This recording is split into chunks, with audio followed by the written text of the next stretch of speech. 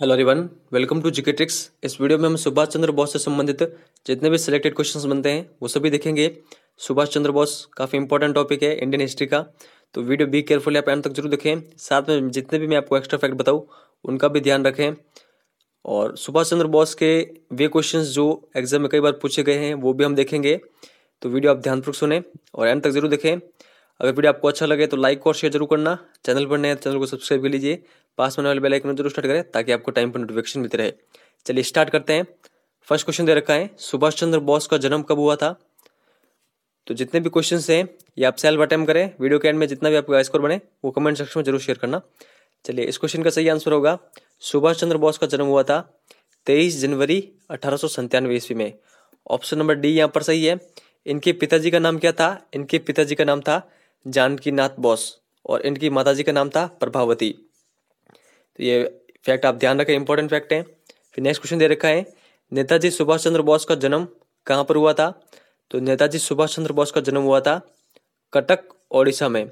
Option number B यहाँ पर सही है, ये आप ध्यान रखें इंपॉर्टेंट है। फिर नेक्स्ट आगे देखते हैं।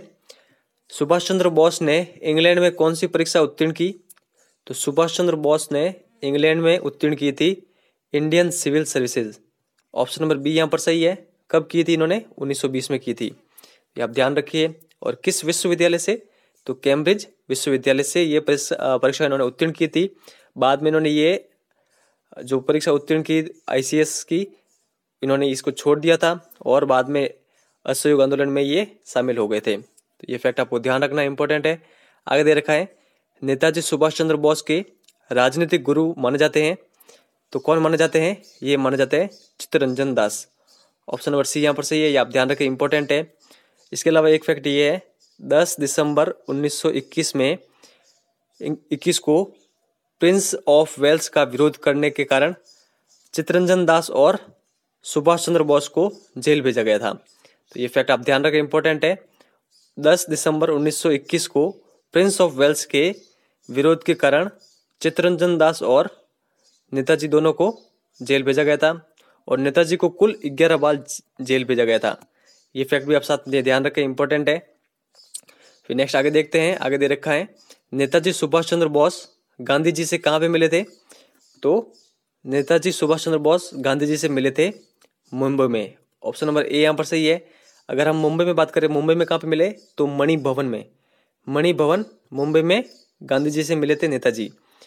अगर डेट में बात करें कि कब मिले थे तो 20 जुलाई 1921 को मिले थे। तो ये फैक्ट आप ध्यान रखें 20 जुलाई 1921 को मिले थे गांधी जी से। तो ये आप ध्यान रखें। आगे दे रखा है, Netaji Subhash Chandra Bose all India youth Congress के अध्यक्ष कब चुने गए थे? तो ऑल इंडिया यूथ कांग्रेस के अध्यक्ष चुने गए थे 1923 में। ऑप्शन नंबर बी यहाँ पर सही है, ये आप ध्यान रखें इंपॉर्टेंट है। और नेताजी एक समाचार पत्र निकालते थे उसका भी आप ध्यान रखें। तो इन्होंने 1921 में एक समाचार पत्र निकाला था, बांग्लार कथा। तो ये आप ध्यान रखें इंपॉर्टेंट है। ये भी शायद एग्ज़ाम में पूछा हुआ है तो ये आप साथ में ध्यान रखें। नेक्स्ट आगे देखते हैं। 1938 में कांग्रेस के हरिपुरा अधिवेशन के अध्यक्ष चुने गए। कौन चुने गए थे? तो 1938 में कांग्रेस के हरिपुरा अधिवेशन के अध्यक्ष चुने गए थे Subhash Chandra Bose. Option number B यहाँ पर सही है, ये आप ध्यान रखिए। और जो ये हरिपुरा अधिवेशन है, इसको भारत का प्रथम ग्रामीण अधिवेशन भी कहते हैं। कांग्रेस का प्रथम ग्रामीण अधिवेशन। ये आप ध्यान रखें, इसके अलावा कांग्रेस अधिवेशनों के दो बार अध्यक्ष रहे थे सुभाष चंद्र बोस और हरिपुरा अधिवेशन में जो प्रांतों में प्रजामंडली आंदोलन चले थे, उनको बढ़ावा दिया गया था। तो ये आप ध्यान रखें प्रजामंडली आंदोलनों को बढ़ावा दिया गया था हरिपुरा अधिवेशन के तहत। आगे दे रखा है उन्नीस में कांग्रेस के त्रिपुरी अधिवेशन के अध्यक्ष चुने गए। तो कांग्रेस के त्रिपुरी अधिवेशन के अध्यक्ष चुने गए थे Subhash Chandra Bose. Option number B यहाँ पर सही है, ये आपको ध्यान रखना है। तो फ़र्स्ट बार तो कांग्रेस के अध्यक्ष चुने गए थे अधिवेशनों के, सुभाष चंद्र बोस उन्नीस सौ अड़तीस में और सेकेंड बार उन्नीस में। तो ये आपको ध्यान रखना है, दो बार चुने गए थे कांग्रेस अधिवेशनों के अध्यक्ष सुभाष चंद्र बोस। और जो सेकंड बार जब ये चुने गए थे, तब गांधी जी ने पट्टा भी सीतारमैया को समर्थन दिया था, लेकिन गांधी जी के समर्थन के बावजूद भी सुभाष चंद्र बोस इसमें जीत गए थे। बाद में इन्होंने कांग्रेस के अध्यक्ष पद से इन्होंने इस्तीफा दे दिया था। तो ये फैक्ट आपको ध्यान रखना इंपॉर्टेंट है एग्ज़ाम में कई बार इनसे संबंधित क्वेश्चन पूछे हुए हैं। और जब इन्होंने कांग्रेस के अध्यक्ष पद से इस्तीफा दिया, तब अध्यक्ष बनाया गया था राजेंद्र प्रसाद को। तो ये फैक्ट आप साथ में ध्यान रखें इंपॉर्टेंट है। थोड़े समय बाद में ही सुभाष चंद्र बोस ने फॉरवर्ड ब्लॉक की स्थापना की थी। तो ये फैक्ट आप ध्यान रखें इंपॉर्टेंट एग्ज़ाम में पूछे हुए हैं। नेक्स्ट क्वेश्चन देखते हैं। नेताजी सुभाष चंद्र बोस ने फॉरवर्ड ब्लॉक की स्थापना कब की? तो कब की? ये की थी ऑप्शन नंबर बी यहाँ पर सही है, उन्नीस में। मोस्ट इंपॉर्टेंट क्वेश्चन है।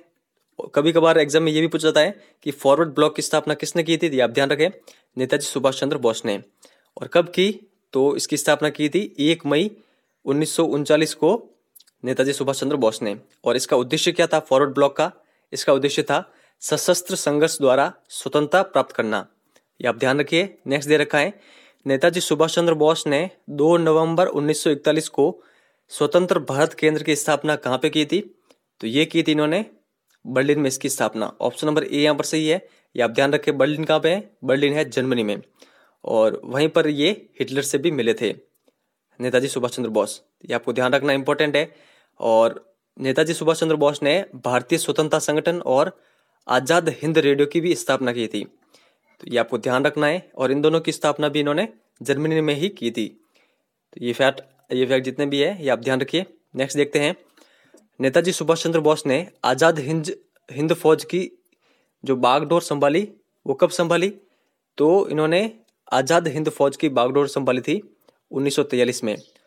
तो यहाँ पर ऑप्शन नंबर डी यहाँ पर सही है, ये आपको ध्यान रखना है। 1943 में सिंगापुर में रास बिहारी बोस से ये मिले थे और बाद में रास बिहारी बोस ने इनको आज़ाद हिंद फौज की बागडोर संभालने को बोला। तो ये आप ध्यान रखें इंपॉर्टेंट है, आगे दे रखा है। आज़ाद हिंद फौज ने दिल्ली चलो का नारा कब दिया? तो आज़ाद हिंद फौज ने दिल्ली चलो का नारा दिया था। ऑप्शन नंबर ए यहाँ पर सही है, उन्नीस सौ चौवालीस में। तो ये आप ध्यान रखें इंपॉर्टेंट है। सुभाष चंद्र बोस ने उन्नीस में तो आज़ाद हिंद फौज की बागडोर संभाली और एक साल बाद में आज़ाद हिंद फौज ने नारा दिया था। दिल्ली चलो, नारा, उन्नीस सौ चौवालीस में। ये फैक्ट आप ध्यान रखें इंपॉर्टेंट है। नेक्स्ट फिर आगे देखते हैं। आगे दे रखा है, तुम मुझे खून दो, मैं तुम्हें आज़ादी दूँगा। यह नारा किसका था? ये था सुभाष चंद्र बोस का। कई बार एग्ज़ाम में पूछा हुआ है, ये आपको ध्यान रखना है।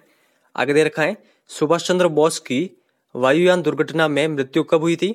तो सुभाष चंद्र बोस की वायुयान दुर्घटना में मृत्यु हुई थी। 1945 में ऑप्शन नंबर बी यहाँ पर सही है। फैक्चुअल डेट की बात करें तो 18 अगस्त 1945 को। अब इनकी जो ये मृत्यु हुई थी, वो हुई थी वायुयान दुर्घटना के तहत रूस जाते समय फार्मोसा द्वीप पर, ताइपे। ठीक है तो ये आपको ध्यान रखना इम्पोर्टेंट है। और इनकी मृत्यु के जो प्रमाण है, वो अभी तक सही तरह से मिले नहीं हैं। तो लेकिन फिर भी ये डेट मानी जाती है 18 अगस्त 1945 तो यही आपको ध्यान रखनी है इंपॉर्टेंट है। नेक्स्ट देखते हैं फिर। नेताजी को मरणोपरांत भारत रत्न देने की घोषणा कब की गई थी? ये की गई थी उन्नीस में। ऑप्शन नंबर सी यहाँ पर सही है। लेकिन ये इनको भारत रत्न दिया नहीं गया था, क्योंकि सुप्रीम कोर्ट ने मना कर दिया कि इनकी जो मृत्यु के जो प्रमाण है, वो अभी तक सही तरह से मिले नहीं है। बस घोषणा की गई थी उन्नीस में देने की। तो ये आप ध्यान रखिए इंपॉर्टेंट है। नेक्स्ट दे रखा है, कौन सी पुस्तक सुभाष चंद्र बोस के द्वारा नहीं लिखी गई?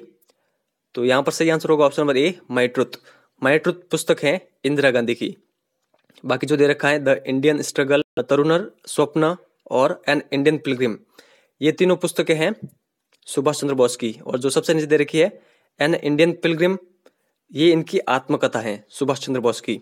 अगर एग्ज़ाम में इस तरह का क्वेश्चन आए कि सुभाष चंद्र बोस की आत्मकथा कौन सी है तो आप ध्यान रखिए एन इंडियन पिलग्रिम जितने भी ये भारत के प्रमुख स्वतंत्रता सेनानी हैं, उनके संबंध में जितन जितने भी उनकी महत्वपूर्ण पुस्तकें हैं, उससे रिलेटेड मैंने अलग वीडियो बना दिया है, नहीं देखा है तो चैनल को विज़िट करके वो ज़रूर देखें। तो चलिए फिर नेक्स्ट आगे देखते हैं। सुभाष चंद्र बोस को देश नायक कहते हैं। तो देश नायक इनको कौन कहते हैं? तो इनको देश नायक कहा था रविंद्रनाथ टैगोर ने। मोस्ट इंपोर्टेंट क्वेश्चन ये आप ध्यान रखें ऑप्शन नंबर बी यहाँ पर सही होगा। आगे दे रखा है, नेताजी सुभाष चंद्र बोस की रहस्यमयी गुमशुदगी की जाँच किस आयोग ने की थी? ये क्वेश्चन भी कई बार एग्ज़ाम में पूछा हुआ है। तो उनकी रहस्यमय गुमशुदगी की जाँच की थी मुखर्जी आयोग ने। ऑप्शन नंबर ए यहाँ पर करेक्ट होगा। नेक्स्ट क्वेश्चन दे रखा है किन्होंने सुभाष चंद्र बोस को देशभक्तों का देशभक्त कहा था। तो सुभाष चंद्र बोस को देशभक्तों का देशभक्त कहा था गांधी जी ने। ऑप्शन नंबर ए यहाँ पर करेक्ट होगा। ये आप ध्यान रखिए। आगे दे रखा है, जय हिंद का नारा किसने दिया? तो जय हिंद का नारा दिया था सुभाष चंद्र बोस ने। ऑप्शन नंबर बी यहाँ पर सही है। नेक्स्ट देखते हैं, सबसे पहले किसने सुभाष चंद्र बोस को नेताजी कहा था? मोस्ट इंपॉर्टेंट क्वेश्चन है, ये आप ध्यान रखिए। सुभाष चंद्र बोस को सबसे पहले नेताजी कहा था महात्मा गांधी ने। ऑप्शन नंबर ए यहाँ पर करेक्ट होगा। नेक्स्ट दे रखा है, नेताजी किस विचारधारा के विरोधी थे? तो नेताजी विरोधी थे। यहाँ पर ऑप्शन में दे रखे हैं गर्मपंथी या फिर नरमपंथी तो ये आपको बताना है, इसका सही आंसर होगा। नरमपंथी। नेताजी नरमपंथी विचारधारा के विरोधी थे। तो ये आपको ध्यान रखना है ऑप्शन नंबर बी यहाँ पर सही होगा। तो फ्रेंड्स यहाँ पर जितने भी इंपॉर्टेंट क्वेश्चन बनते हैं, सुभाष चंद्र बोस से, वो हमने डिस्कस की है। तो वीडियो आपको कैसा लगा है, अगर अच्छा लगा है तो लाइक और शेयर ज़रूर करें। और आपको किस टॉपिक पर वीडियो चाहिए, आप बता सकते हैं।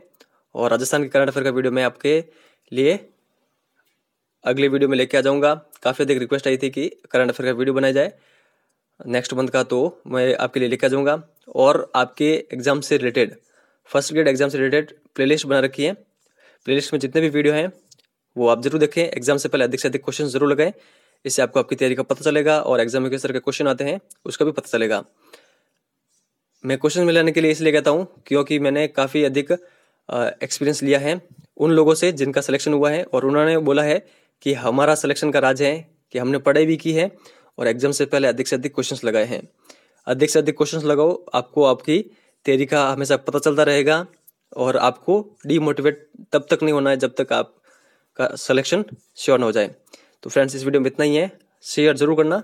इस वीडियो में इतना ही है। Thank you thank you very much for discussion